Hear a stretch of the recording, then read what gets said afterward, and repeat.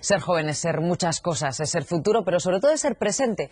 Hoy el Consejo de la Juventud de España ha puesto en marcha una campaña para visibilizar los problemas de la gente joven. Estamos en una cultura obsesionada con la edad porque vivimos una gran paradoja.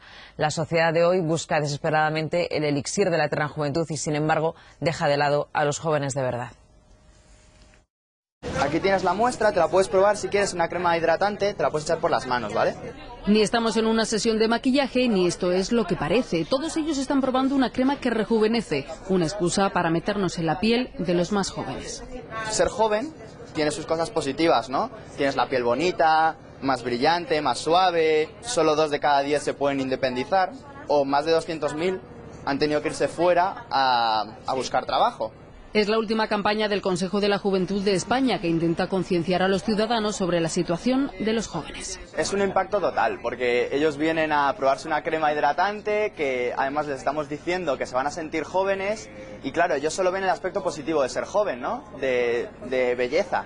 Entonces cuando les contamos esas condiciones negativas, el impacto es brutal realmente. Creo que la gente mayor relativiza un poco nuestra situación, ya que se piensa que muchos jóvenes no quieran trabajar porque son vagos o cualquier cosa y no es así. Que la gente vea que ser joven no, no es todo bonito, que ser joven también es sufrir un 53% de desempleo juvenil, que es sufrir que solamente dos de cada diez jóvenes se puedan emancipar o que más de 200.000 jóvenes, según eh, cifras oficiales, tengan que abandonar el país por falta de oportunidades. Cremas que rejuvenecen y que sobre todo abren los ojos a quienes las prueban.